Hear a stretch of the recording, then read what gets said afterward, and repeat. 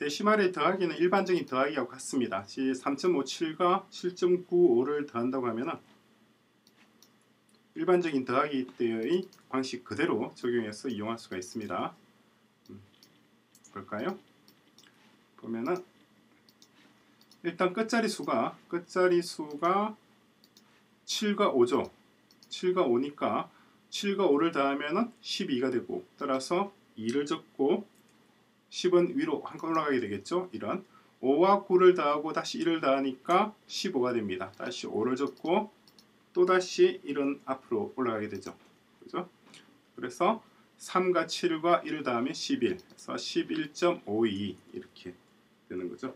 그 점은 소수점은 결국 그대로 따라갑니다. 그래서 5와 9를 더한 다음에 소수점을 찍어줘야 되겠죠. 왼편에.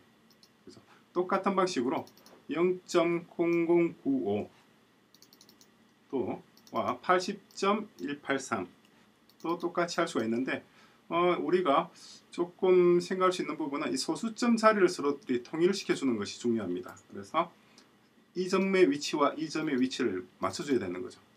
지금 같은 경우에는 이렇게 공공을 해서 아예 자리수를 자리수를 인위적으로 맞춰주는 것도 필요합니다. 그래서 다음에는 음, 이게 공공을 해서 맞춰 놓겠습니다.